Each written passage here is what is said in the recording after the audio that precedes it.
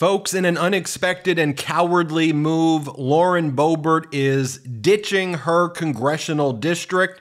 She's currently representing Colorado's third congressional district, which is a plus nine Republican district. Let me repeat that a plus nine Republican congressional district. However, Lauren Boebert is so concerned about losing in the upcoming 2024 elections to Adam Frisch, who nearly defeated her in the midterms. He lost by only about 600 votes to Lauren Boebert.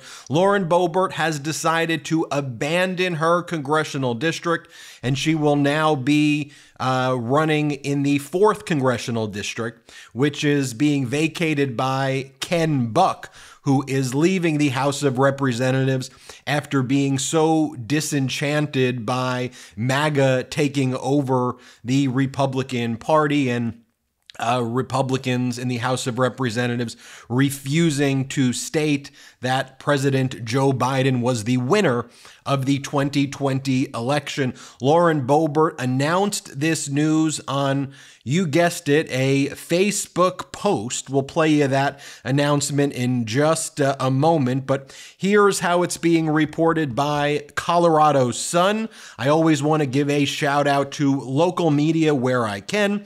So this is from the Colorado Sun Jesse Paul writes, Lauren Boebert will switch congressional districts to improve her chances of winning in 2024.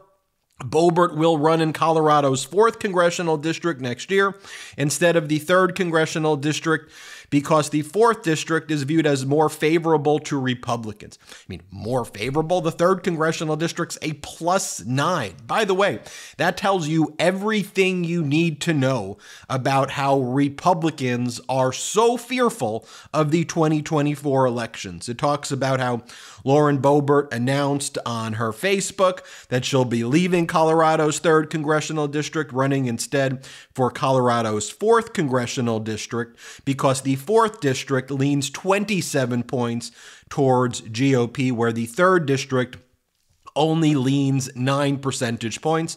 That this bombshell announcement was made on Lauren Boebert's Facebook page. It talks about how she had a narrow victory in 2022 by a little more than 500 uh, or so votes, slightly under 600 votes. The article goes on to talk about the Beetlejuice incident where Lauren Boebert uh, was seen on surveillance footage fondling her then boyfriend while blowing vape smoke on people uh, at this public theater in uh, Denver. It also talks about a lot of her other uh, foibles and her. Um, uh, disgusting statements that she's made and um, her general oddity and and dangerous and out of touch uh, behavior with her congressional uh, district. It talks about how Boebert, a 37 year old divorced mother of four boys, who is also a grandmother, lives in Garfield County near the town of Silt, which is hundreds of miles from the 4th District's boundaries. However, members of Congress don't have to live in their district, just the state the district is in, so she doesn't have to move to run for the 4th District, which she has no attachment to and which she does not live in. It talks about how Boebert had $1.4 million in her third district campaign account at the end of September, money that she can use for her run for the fourth district. But it talks about how, when it comes to the fourth congressional district, since Ken Buck uh, announced uh, that he would be leaving, that's the Republican, as I mentioned at the outset of this video, currently holding that uh, congressional seat, a lot of other candidates uh, have uh, already put their uh, hat in that they're vying to replace Buck. You have uh, former state senator Jerry Sonnenberg of Sterling. He's currently the Logan County commissioner. You've got state representative Richard Holtorf of Akron. You've got conservative talk radio host Deborah Flora. And then you have former state senator Ted Harvey of Highlands Ranch.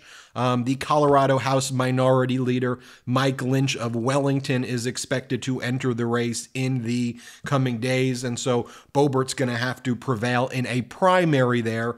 And I guess she views her chances of prevailing in the primary in the fourth congressional district to be better than her chances of defeating uh, Adam Frisch in a new campaign in the new race for uh, 2024. It was actually 546 votes was the amount that Boebert won in 2022.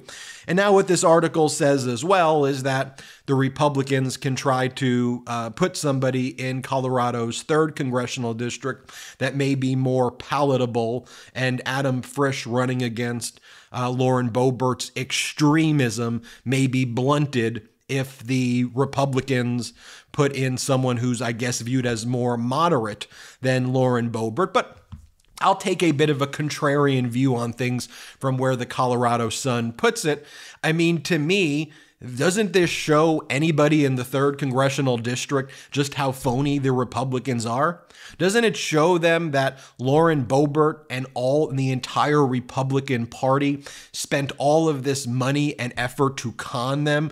You had Adam Frisch who wanted to represent them with dignity in 2022, and Lauren Boebert ran for a seat in a congressional district that she's running away from, that she doesn't care and never cared about her constituents. And frankly, I think that's the broader point as we get into 2024, and that's this that these MAGA Republicans rather host podcasts and do videos and do TV shows and, I don't know, live out their fantasies of uh, being Hollywood actors that they failed at, like Lauren Boebert and like Marjorie Taylor Greene, and, and live these fantasies through uh, their roles in the House of Representatives while taking away our freedoms, taking away our rights, and behaving in such a bankrupt and corrupt manner. I think the voters will take notice of this and any Republican who claims that they're going to be representing the third, or I think Lauren Boebert claiming she wants to represent the fourth. How do you look at that and say that seems about right? No, these are people who are trying to dupe you. And I think the American people are going to be far more savvy to that and see what's going on. So let me show you now the video here of Lauren Boebert uh, announcing on her Facebook page that she is leaving. See you later, 3rd Congressional District in Colorado. Boebert out. Beetlejuice, Beetlejuice, Beetlejuice. Here, play the clip. Today, I am announcing my candidacy for the 2024 Republican nomination to represent Colorado's 4th Congressional District in the United States House of Representatives. It's the right move for me personally, and it's the right decision for those who support our conservative movement. This is the right move for Colorado, for us. And there you have it, folks. Goodbye, Lauren Boebert from the 3rd Congressional District. I think this will backfire on Republicans if they think they're going to be smart and try to push some other Republican into the third congressional district. And then Boebert thinks she's going to go to the fourth congressional district. I think she loses the primary in the fourth.